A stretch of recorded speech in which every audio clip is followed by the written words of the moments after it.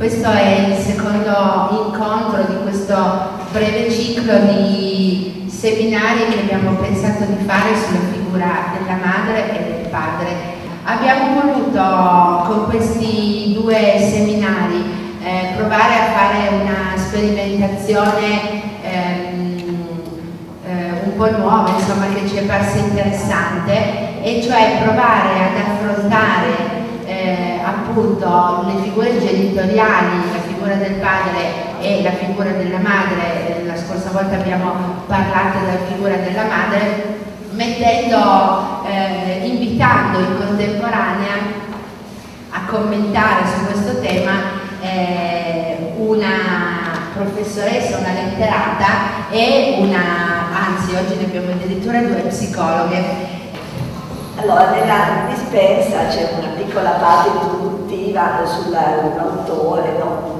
Italo Svevo. Adesso parliamo del primo romanzo, Una vita, che è condotto in terza persona. Il protagonista è un tale Alfonso Nitti. Eh, attraverso gli spaccati del racconto si vede che la vita di questo Alfonso è stata condizionata da padre nel bene, per carità. Il padre era un medico che non era riuscito però a farsi una ricca clientela, era vissuto poi sempre nel paese, ma aveva sperato per il figlio una vita migliore. Aveva fatto studiare il figlio e quando aveva visto dei buoni risultati sperava che quello della vita avrebbe avuto ciò che non aveva avuto lui, che di solito è l'aspettativa dei genitori. Adesso arriviamo al romanzo più importante, la coscienza di Zeno, Ecco, questo romanzo non è più condotto in terza persona, ma in chiave autobiografica. quello che scrive è appunto Zeno. Zeno dice che fin da ragazzino voleva fumare e anche qui perché? Perché il modello era il padre che si aggirava per casa col sigaro Virginia, lo lasciava fumato a metà e in quel modo si faceva vedere come persona importante eh, il padre ha avuto dal medico la raccomandazione di stare letto, però come tipico di queste malattie no? cerebrali è inquieto, un po' si alza, un po' sta in poltrona, un po' cammina con una deambulazione faticosissima.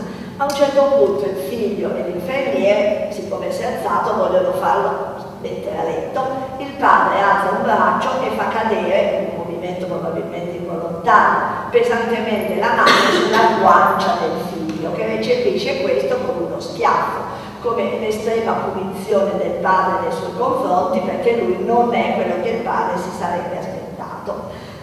Diciamo che le aspettative mh, possono, anche, eh, possono anche compromettere magari un po' la vita del lo sviluppo uh, del, del, bimbo, perché comunque c'è una tendenza mh, ad investire ovviamente molti dei desideri no? eh, sui bambini, e, però questo rischia di mettere anche una seria ipoteca sul destino dei, dei loro figli, perché se queste aspettative sono troppo alte, il, il figlio poi faticherà a esprimere ciò che effettivamente sente, anzi soffocherà magari le, quelle, quelle, che sono le sue risorse, le sue potenzialità per andare ad abbracciare capacità che in realtà non gli appartengono. Quindi facendo un doppio sforzo, perché da una parte deve dimostrare di valere con delle risorse che però non sente di avere, dall'altra deve soffocare quelle che sono le sue aspirazioni, le sue risorse. Vi faccio un breve cenno a quello che viene definito in psicologia falso sé, che spesso nasce da situazioni di questo tipo, è come se ti venisse cucito addosso un vestito che non è della tua misura, tu fai fatica di indossarlo ma sei costretto a indossarlo perché se non lo indossi temi di perdere l'amore e l'accettazione dei tuoi genitori. Il bambino ha come bisogno prioritario ovviamente quello di essere accettato e amato, eh, ma per non perdere questo amore e l'accettazione dei genitori potrà, potrà trasformare se stesso, medicherà e amputerà e falserà delle emozioni, dei sentimenti nel tentativo di essere come gli altri desiderano. Io volevo concludere raccontandovi una storia di un ragazzino che io ho incontrato al sportello d'ascolto. Ettore è arrivato da me perché mostra un grosso disagio a scuola i professori sono molto preoccupati per lui perché non sta mai fermo, è agitato, non ha amici. Quando qualche tempo do dopo incontro la mamma di Ettore, mi dice che suo figlio le ha raccontato un pochino che è venuto da me, che cosa ci siamo detti. Vedete, è stato molto colpito perché lei mi ha chiesto come mai l'abbiamo chiamato Ettore, no? E io ho detto, ma gliel'avete poi spiegato? Lei gliel'ha spiegato, no? Perché e lei mi ha detto no, non abbiamo avuto tempo. E allora io ho detto, ma me lo racconti come mai l'avete chiamato Ettore?